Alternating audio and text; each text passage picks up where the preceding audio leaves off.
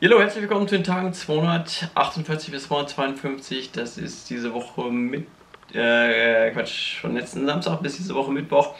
Und ähm, ja, es ist eigentlich relativ viel passiert. Trotzdem habe ich nicht so viel Zeit, das in mehreren Beiträgen unterzubringen. Deswegen muss ich das heute schnell noch unterbringen. Und äh, ich will auch nicht allzu lange das Video machen, denn ich muss packen. Äh, dazu aber gleich noch ein bisschen mehr.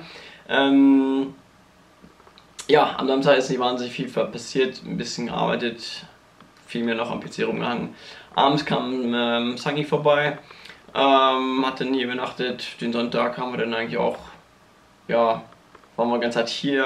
Ich habe ein bisschen mehr gearbeitet, ähm, auch noch ein bisschen gezockt. Und dann abends haben wir, ja, uns ähm, damit beschäftigt, dass ich ja bald wieder verreisen muss. Also ich wollte nach Japan fliegen und ähm, ja, mal gucken, was so das beste, äh, der beste Termin ist. Und ja, der beste Termin war, den wir jetzt rausgekriegt haben, war jetzt morgen. Also ich fliege schon jetzt am ähm, Donnerstag.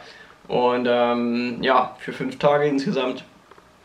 Ähm, und irgendwie hat dann Sangi sich auch kurzzeitig überlegt, dass sie vielleicht ein bisschen Uni abklemmen kann und dann kommt dann einen Tag später am Freitag nach und ja, bis nächste Woche Dienstag geht das Ganze dann.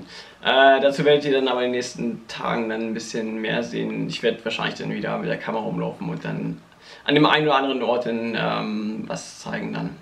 Ja, haben uns halt wie gesagt da ein bisschen mit der äh, Reiseplanung ein bisschen beschäftigt und am Mittwoch, äh, Quatsch, am Montag dann ähm, tagsüber, ja, Sangi musste dann mittags dann wieder los ich habe nicht so wahnsinnig viel gemacht tagsüber, ähm, bin dann abends zur Nachhilfe.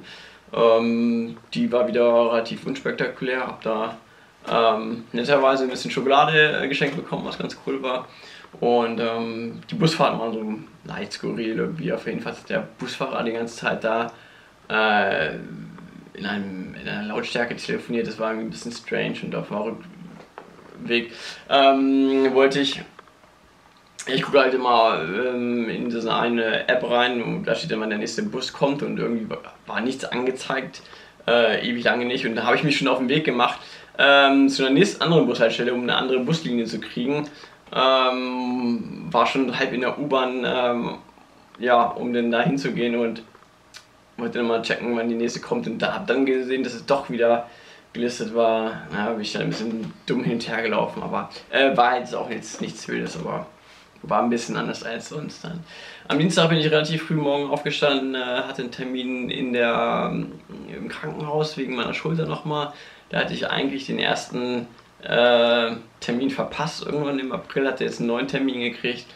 Habe mir jetzt nicht so wahnsinnig viel davon versprochen, aber dachte, kann ja nicht schaden. Ähm, bin dann da hingefahren, muss sagen, beim ersten Mal, als ich da hingefahren bin, das war für mich doch irgendwie noch ziemlich krass da, diese lange Strecke äh, und raus, rauszufinden, wie man da hinkommt und äh, war da relativ besorgt damals noch und äh, ja, diesmal relativ entspannt, also ähm, ist auch mal ganz nett, da so den direkten Vergleich dann da zu sehen.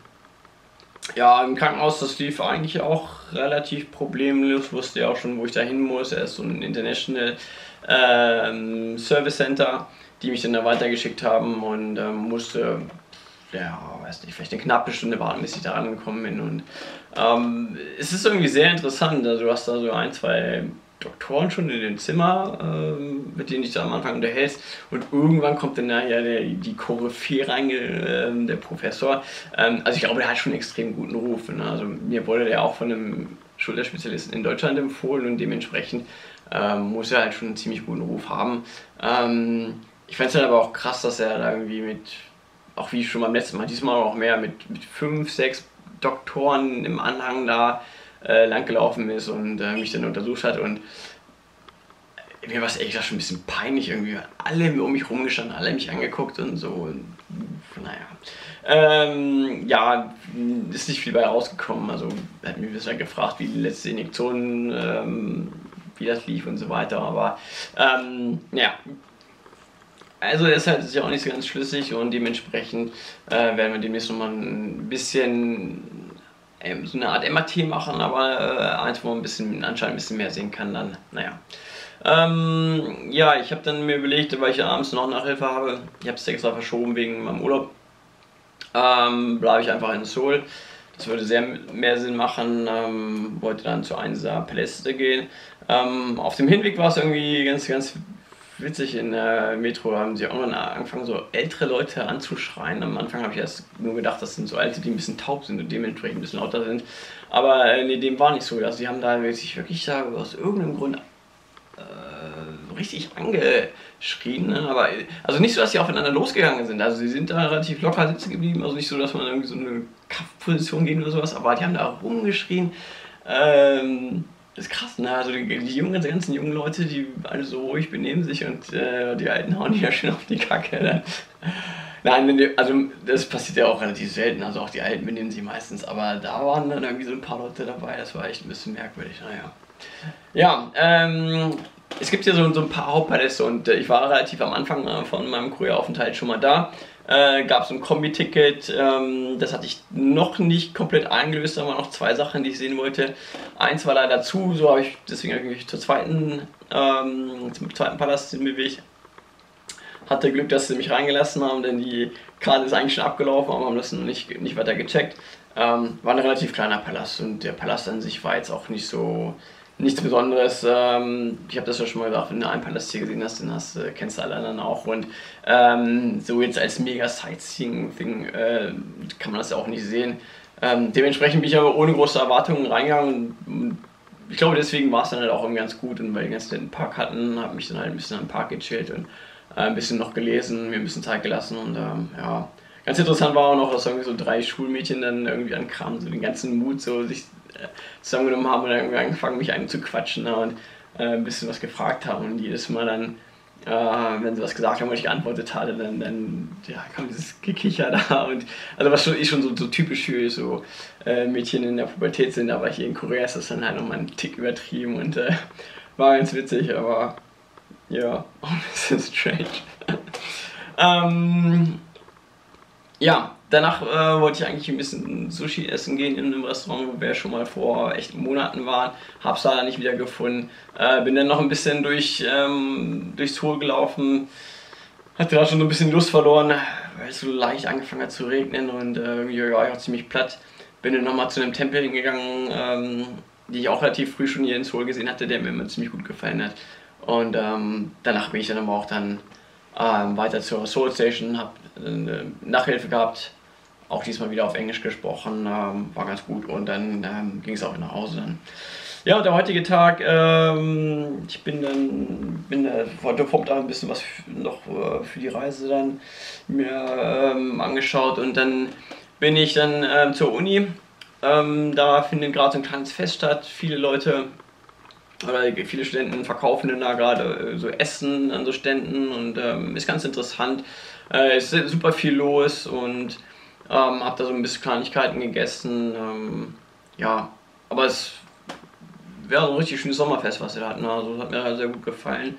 Ähm, hatte dann um vier so die erste Nachhilfe oder die erste, ich weiß nicht, wie ich das sagen soll, mit der Professorin von Sangi, die irgendwie auch Deutsch mit mir machen äh, will. Und ähm, ja, war ganz gut. Also wir haben eigentlich nie so richtig über Geld gesprochen, aber ich habe ein bisschen Geld gekriegt und gleich auch irgendwie so ein ganzen Batzen, also ich weiß nicht, wie viel scheint so im Voraus schon bezahlt, für wie lange, weiß ich nicht ganz genau, aber im Grunde genommen ist es jetzt auch nicht so wichtig, wie viel ich irgendwie kriege, weil äh, ich denke, es stimmt schon. Und ähm, ich kann es halt immer gut verbinden mit einem anderen Nachhilfe, von daher ist es okay. Und das andere Gute ist halt, ähm, ja, sie spricht halt ziemlich gut Deutsch, sie ist halt wirklich locker drauf, es macht auch irgendwie richtig ähm, spaßig da zu unterhalten. Und ansonsten ist sie ähm, auch, auch, sehr gönnerhaft. Ja. Selbst äh, wenn ich jetzt vielleicht auf die Stunde umgerechnet dann vielleicht weniger kriege als sonst, aber äh, wie gesagt, das, das macht mir dann nicht wahnsinnig viel aus. Also gleich für nächste Woche sind wir da irgendwo zum Essen eingeladen und äh, ähm, ich war dann nachher noch, sind wir noch unten übers Fest gelaufen, da hat sie mir dann gleich auch noch mal ein bisschen was zu essen äh, gekauft und ähm, ja, ja, auch zig Süßigkeiten angeboten gekriegt und sowas. Also das stimmt auf jeden Fall schon. Gute Sache und ähm, ja, Hauptsache es macht Spaß und es macht auch echt Spaß, sich da zu unterhalten. Ja, danach war ich noch zur Nachhilfe in Songdo. Ähm, lief auch relativ locker, auch ganz gut. Und dann bin ich jetzt zu Hause gewesen, äh, habe meine Reiseplanung gemacht und ja, das war's vom Tag und dann gibt es demnächst was über Japan.